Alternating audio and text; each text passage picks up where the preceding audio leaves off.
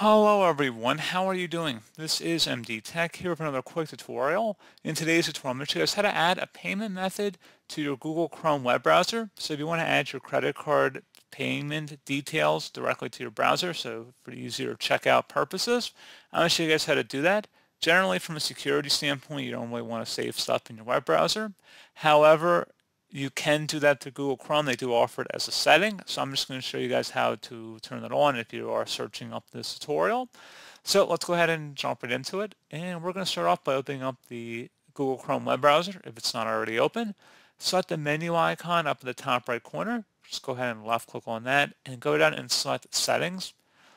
On the left side, select autofill and passwords. And then underneath autofill and passwords on the right, select the payment methods option. And then underneath payment methods, you can select the add button. At this point, you enter in your card number, your expiration date, name on the card, as well as the card nickname. You would select save once you're done with that. And then you should have this option appear as an autofill option when you are checking out with shopping carts doing internet online purchases. And if you wanted to remove or edit these payment details later, you can come back in here and select the three dot icon next to it and select edit in order to modify the credit card details, or you can delete it just by selecting the three dot icon and select delete, and then select delete for that payment method. And that's all you have to do. So pretty straightforward process, guys. Do hope I was able to help you out, and I do look forward to catching you all in the next tutorial. Goodbye.